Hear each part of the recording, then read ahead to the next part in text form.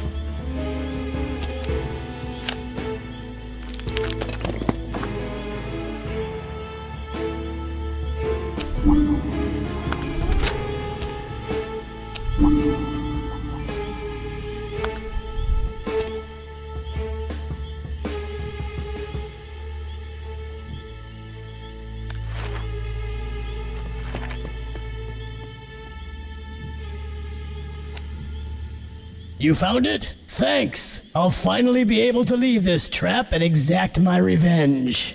Oh yeah, as I promised, here's a rare Babylonian emerald. You'll be able to figure out how to use it.